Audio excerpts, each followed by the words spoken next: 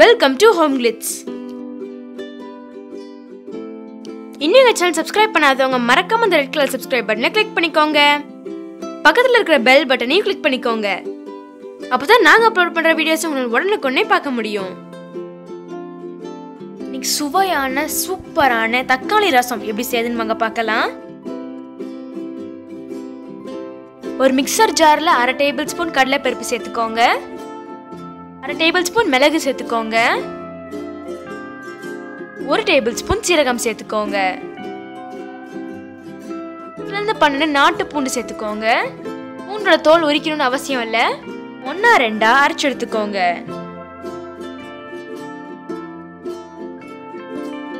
ஒரு பவுல்ல ரெண்டு தக்காளியை நல்லா இந்த மாதிரி பிசைஞ்சு விட்டுக்கோங்க.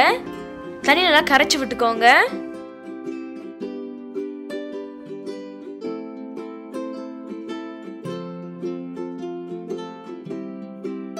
இந்த மாதிரி நல்லா கரைச்சி வச்சுக்கோங்க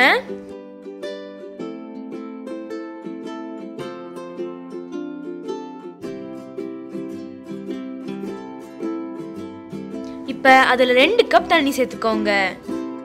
ஒரு கடையில் ஒரு டேபிள் ஸ்பூன் எண்ணெய் சேர்த்துக்கோங்க. அரை டீஸ்பூன் கடுகு சேர்த்துக்கோங்க. கொஞ்சம் கருவேப்பிலை சேர்த்துக்கோங்க. ஒரு வரமிளகாய் சேர்த்துக்கோங்க. ஒரு பச்சை மிளகாய் சேர்த்துக்கோங்க. நீங்கள் உங்கள் காரத்துக்கு தகுந்த மாதிரி சேர்த்துக்கலாம். முன்னாடியே அரைச்சி வச்சிருந்த மிக்சரை இப்போ சேர்த்துக்கோங்க. நல்லா வதக்கி விட்டுக்கோங்க.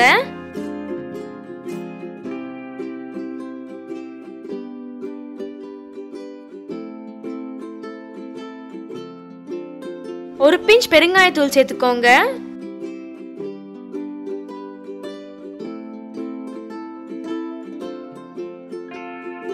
அரை டீஸ்பூன் மஞ்சத்தூள் சேர்த்துக்கோங்க. கரைச்சி தக்காளியை தண்ணியோட உள்ள சேர்த்துக்கோங்க. தேவையான அளவு உப்பு சேர்த்துக்கோங்க. நெய்ல வறுத்த ஒரு ஸ்பூன் மல்லி சேர்த்துக்கோங்க. இதை ஆட் பண்ணினா ரசம் இன்னும் டேஸ்டா இருக்கும். கடைசியா கொஞ்சமா கொத்தமல்ல தூவிக்கோங்க.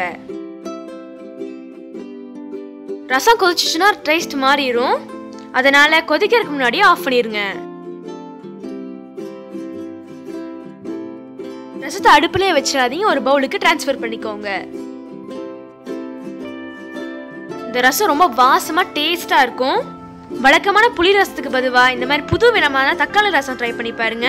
உங்களுக்கு இந்த வீடியோ பிடிச்சிருச்சுன்னா லைக் பண்ணுங்கள் ஷேர் பண்ணுங்கள் கமெண்ட் பண்ணுங்கள் மறக்காமல் ஹோம் கிளிட்ஸ் சப்ஸ்கிரைப் பண்ணுங்கள் தேங்க்யூ